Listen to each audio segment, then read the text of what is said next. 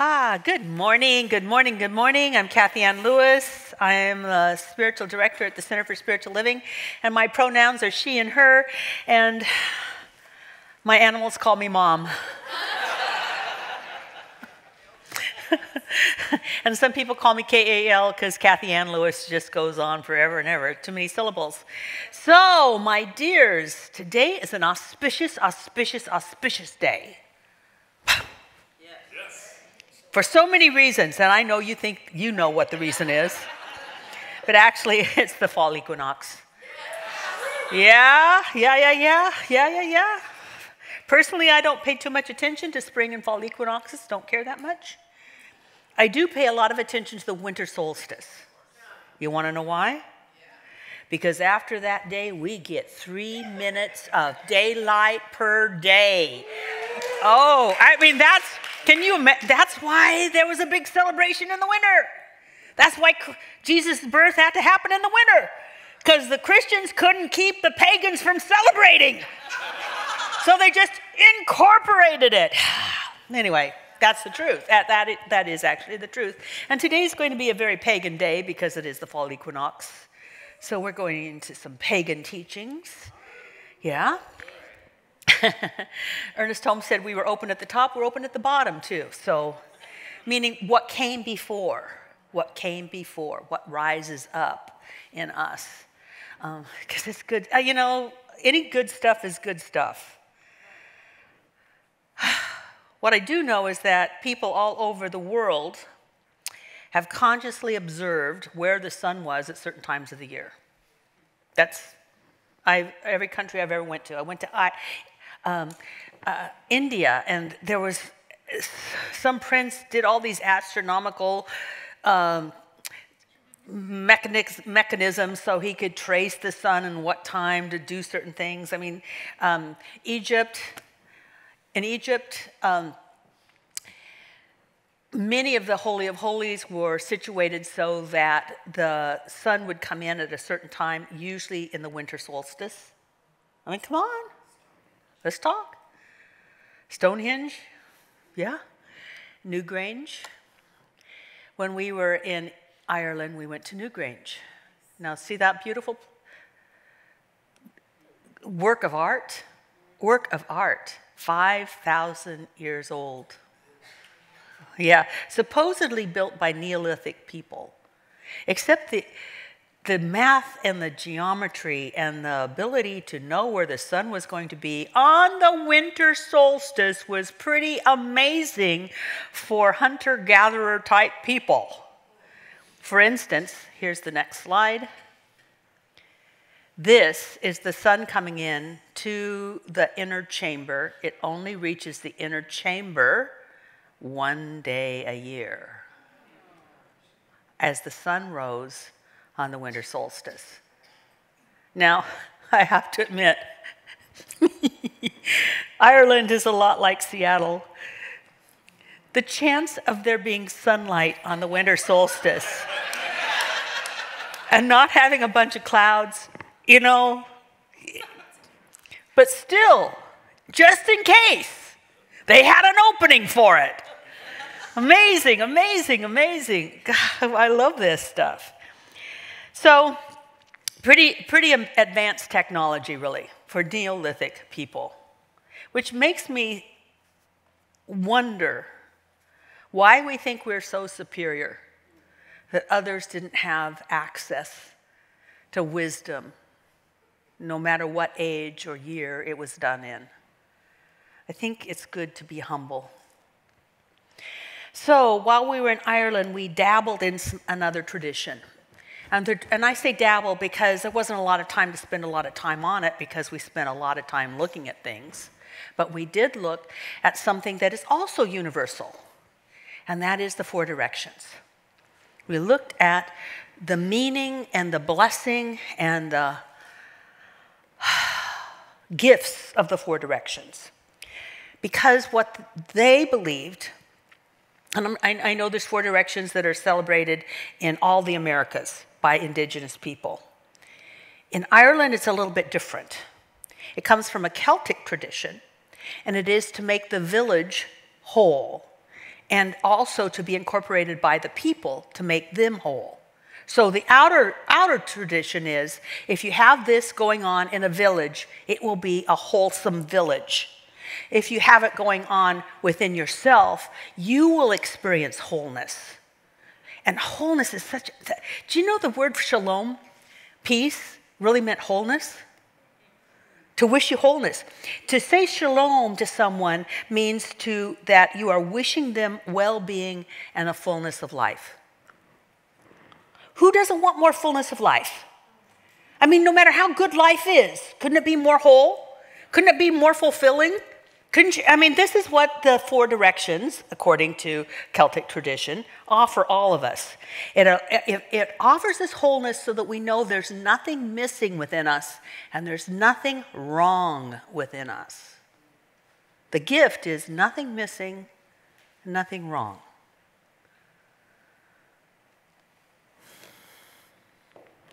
And when we can know that for ourselves, we can know that about society and we can know that for others. We can only know for others what we know for ourselves. Have you noticed that some people blame people for the things they're doing themselves? Have you noticed that about it? I just wondered.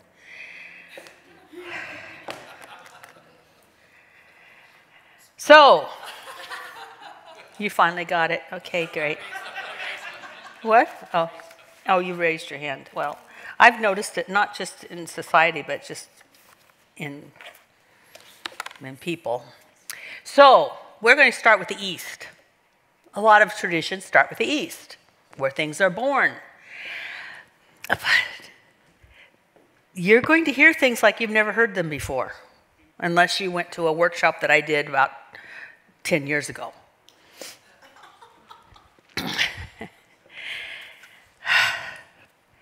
So,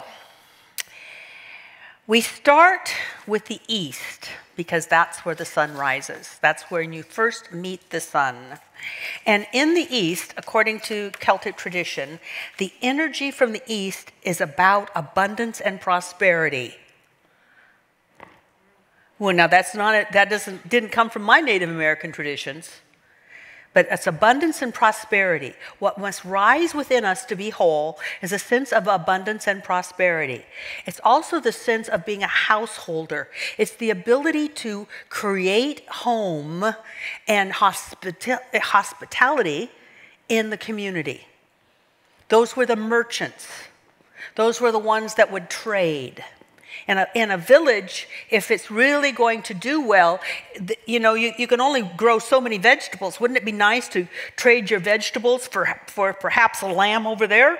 And the people with the lambs, wouldn't they be more prosperous if they could trade their lambs for some, for some vegetables that they're not growing? It's about, it's about interchange. It's about interchanging of, of, of um, energy and goods. It, it was needed to do well. I had no idea I'd say this, but let's go back to Peru. So when we're in Peru, the, every time I've gone to Peru, I've worked with a shaman named Benito. Benito, oh my goodness, Benito. Benito is the shaman at a village that is at 16,000 feet above sea level. The only thing they can produce are potatoes. So for their village to work, Benito has to take the potatoes down into lower climates and trade for things. Then he also buys things so the women can do needlework and, and, and beadwork. And it's the exchange. That's what prosperity is, is the free flow of what you have to benefit others so that others can give the free flow to you for you can do better as well. Do you see why that was very vital to a Celtic organization? And that's what we need to take in for ourselves. This idea that what I need is mine if I'm willing to share what I have. It wasn't about hoarding. I'm, I'm keeping my potatoes. You keep your sheep, I'll keep my potatoes. It was about sharing, flowing, moving. It was about the wholesome activity that comes out of uh, abundance instead of scarcity. Because when we get scarce, we hold, we cling. And that's not prosperity, that's not wholeness. So, what they tried to know is at one level is that's what was that that that activity was necessary for a community be, to be healthy and for an individual we needed to know that what we needed would come to us from the universe and then what we gave out was a generous contribution to who, those around us so we practiced this when we were in Ireland we would breathe in abundance, we would breathe out generosity. Breathe in abundance. I have plenty of potatoes. To breathe out, I'll share them with you. I breathe in abundance. I know you'll share with me. Do you see how that is a flow and a way of thinking that would make the community and the individual healthy?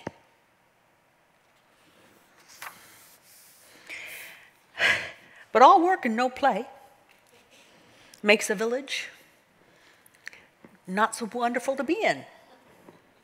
So then we look at the direction of the south. In the south, the energy is of the great song, the universe, the one song.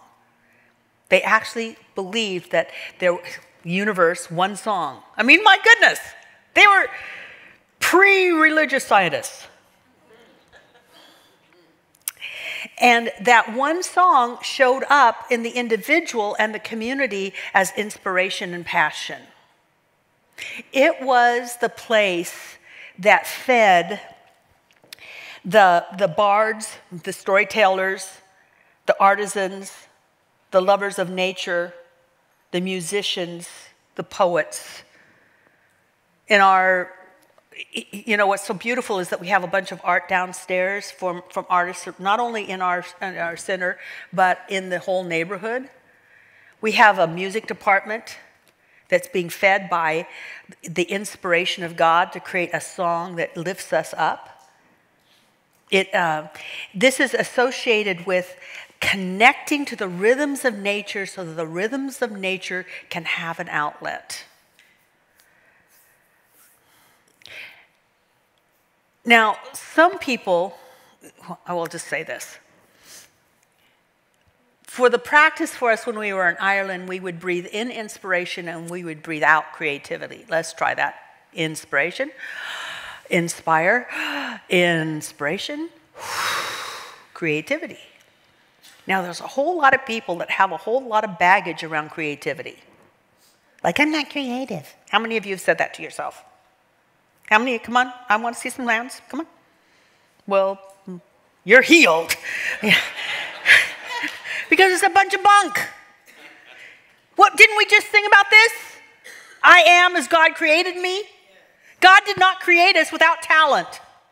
I am as God created me. No talent, no hope, no creation. I mean, we are creative because we are a chip off the old block and the old block is creative. In the, God, in the beginning, God created. We're part of that. We're always creating. You're either creating stress or a mess, or you're creating something that's beautiful, cooperative, and harmonious. But we're always creating. See, for us to believe we're not creating, we not, not only dummy down our own intelligence, we dummy down the opportunity for God to express through us because we are creative. I mean, no, don't take that as a bad thing, but if you're in a mess, who created it? If you're in trouble, who created it? If you don't like our country, who created it? See, it's the people that don't understand that they are creative that let other people that think they are creative create the country we're in. So if you don't like it, not only vote, yes, but I but spend every morning in your meditations and your visualizations creating the world and the country you want to live in. That's what you do. It's like, I hope it turns out okay. I will pray. If it doesn't turn out okay, at least I knew I did my part. Every morning you see it as you want it to be. I'm seeing love and cooperation and goodness rise up because some people have gone to sleep and they're still as God created them. And I want that God spark to spark. And I want the spark to spread. Hallelujah. Anyway.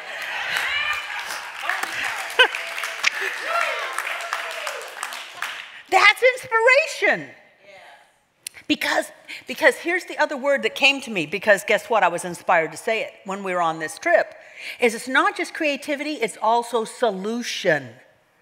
Breathe in inspiration, breathe out solution. Breathe in inspiration, breathe out solution. Because a solution is always a creative turn that will heal or fix an issue. If you have an issue, what you want is a solution. You don't want to just have it go away because guess what? There's learning in it for you. And you grow based on the big solution that comes through you. I mean, how many of you would just like to have something just go away? There's no growth in go away, there's growth in solution. Because if you have it go away, guess what? It just gets bigger and comes back. Hello, I'm here again. now we're at this, the West. There's that beautiful song. What is it, um, JB? Um, this is the, what is it? That song that you guys sing? Oh, um, What's the name? May I suggest? And then there's the, the, the, the, message from the West, and that's the people that are going away and all that kind of stuff. Guess what? Not, not for the Celtics. For the Celtics, the West was the energy of knowledge. But the energy of knowledge came from a desire to know. Sometimes we don't want to know because we might be the one that's wrong. I mean, wanting to know takes an amazing amount of humility. It's the inner knowledge of the ancients. It was known as gnosis, in, in the biblical terms, gnosis, and also it was medicine. It was the, it was the energy of medicine for more American traditions, uh, the Americas, I should say. You know, not just America, the United States, but the Americas, the indigenous people would call it the medicine. It's that which healed, it's that which perfected, it's that which made things better. And we ho- open to that higher knowledge by longing for it. In the Lakota tradition, they would cry, they would cry out for a vision so they would know, know what to do. But it was a knowing, it was a deep knowing. It, was the, it is the, the place of the medicine man in the Western culture and the druid in Ireland. Those people who had the wisdom that was handed down from generation to generation to generation.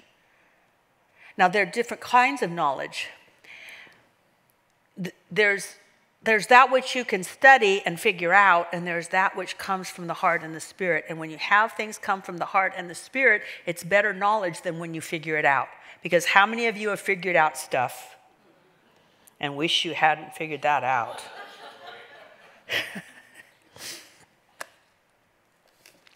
if you connect with the life within you, then you have access to all the mysteries of the universe when you connect. So, what we would do in Ireland is we would breathe in vision and we would breathe out counsel. Because the counseling came, the medicine man worked from, the shaman worked from knowledge that was old and ancient and universal. Universal.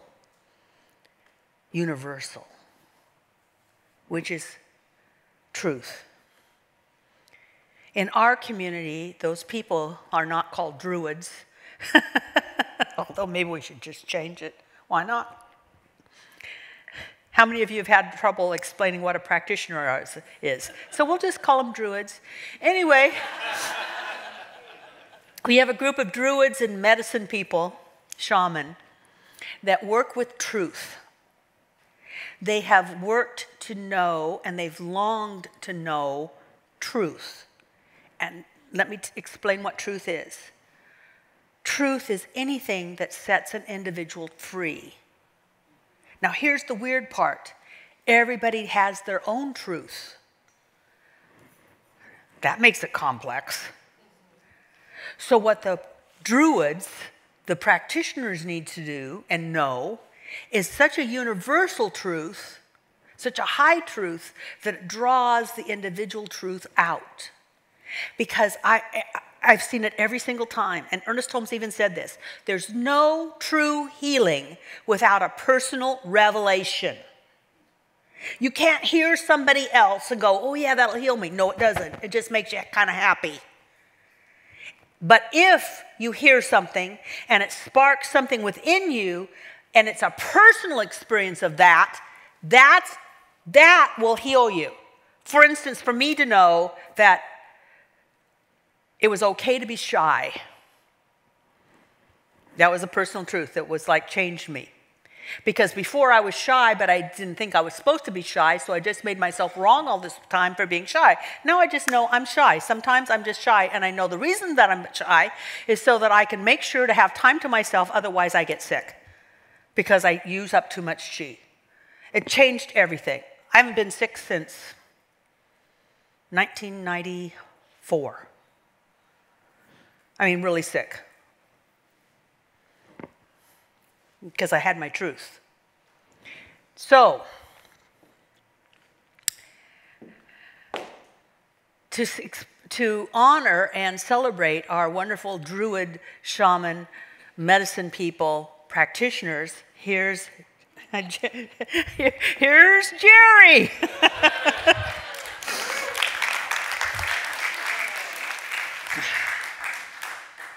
yeah, it is an honor to honor practitioners, and I'm honored to be one. A minister never stops being a practitioner, right? Ah, I like that druid. Maybe we should get the little. so we celebrate milestones of service. We get little pins we get to wear, and we can do whatever we want with these stoles. TC's got a whole little collection of pins over there. I love it every time I see that. So we have people that have served for five years and 10 years this year. And so we're going to honor them this morning. So I'd like to invite them up and give them their new pin, T.C. Cook. Vicki Draper, Sherry Grasso, Jim Landis, or somebody called him Swami today, so maybe that's his new term. And Sylvia Rose. Oh, darn it. Share that one for now. I swear I counted right. And for 10 years, Francie Pease and Suzanne West. What a commitment. We had an amazing retreat yesterday, and I got the privilege of witnessing and feeling my own recommitment to God and this community, and that's what I witnessed yesterday.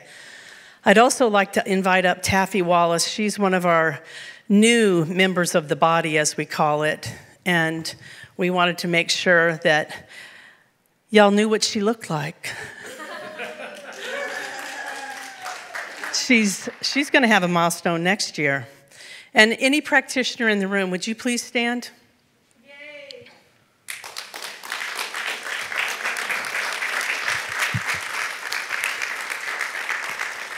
And may I have the slide, please? Our beloved Gary. Jim, would you just step a little to the side? Our beloved Gary, my classmate, served 14 and a half years. We miss him greatly. He was with us yesterday. He's always with us. And so, for every practitioner, I offer you this blessing. May you recognize in your life the presence, power, and light of your soul. May you realize that you are never alone, that your soul and its brightness and belonging connects you intimately with the rhythm of the universe. May you have respect for your individuality and difference. May you realize that the shape of your soul is unique, that you have a special destiny here, that, that behind the facade of your life there is something beautiful and eternal happening. May you learn to see yourself with the same delight, pride, and expectation with which God sees you in every moment. Thank you so much for your service to this community and for your love of God demonstrated by that. Thank you.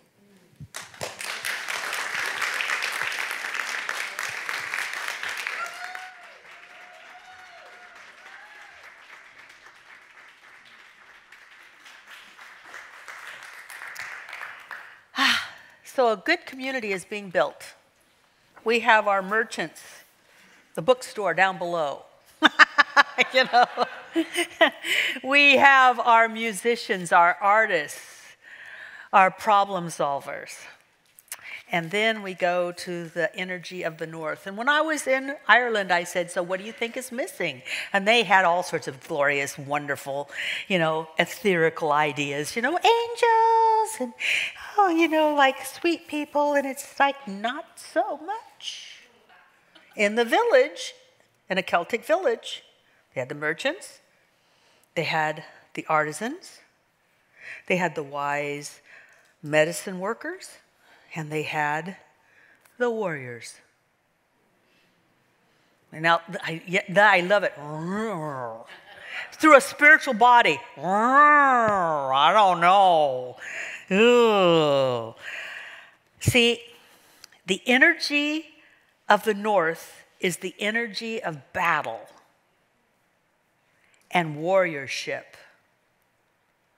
It's the magic of conflict and rough places. Take a deep breath.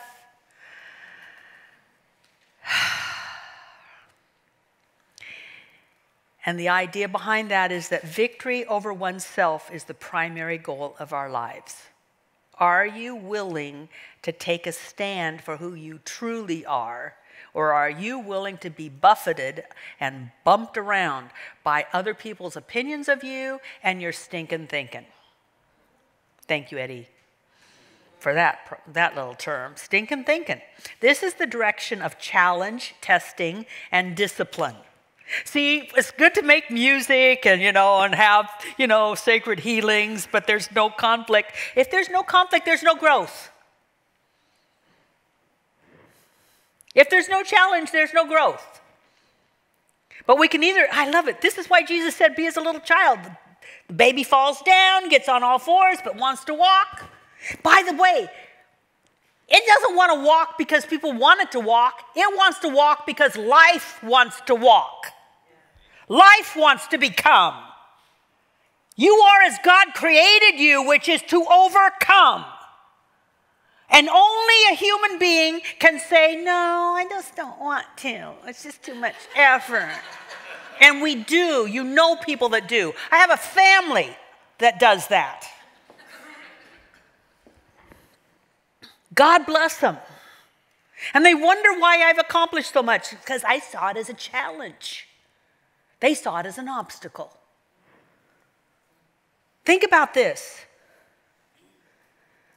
You know, one of the things I want is for spiritual people, people who know that they are an expression of the divine and that everyone else is, no matter what their color is, no matter who they love, if they knew that the, everyone is an expression of God and they took a stand for it, our country would be different. But so many people are like, let's just be love and light. Well, be a big light. You know, you can have a little tiny candlelight or you can have a bonfire.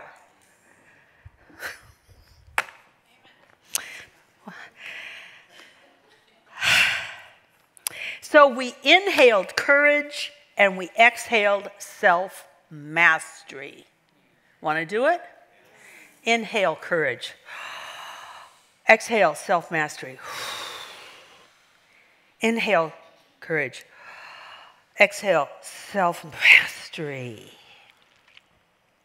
See, our biggest enemies, our biggest enemies, are those people we're out of sync with. They believe different, they vibrate differently. But guess what? They can draw a circle to keep us out, but love and us have the wit to win. We draw a circle and take them in. But we have to take a stand for that. You know,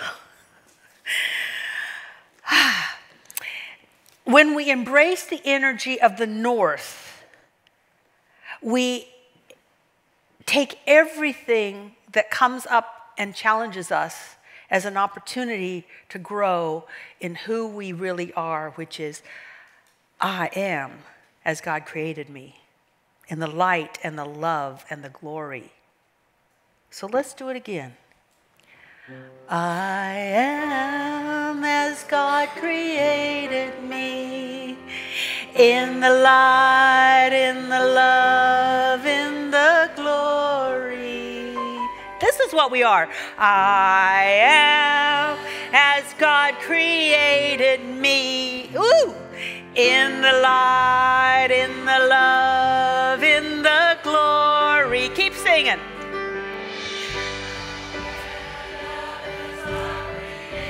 Even when I feel small, even when people say I'm not good enough, even when people call me names, even when people challenge my beliefs, even when people say, Well, who are you to think that way? Who are you to stand up for that? Then this goes off in our head. I am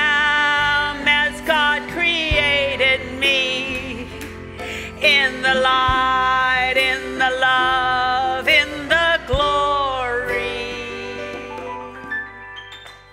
And so it is.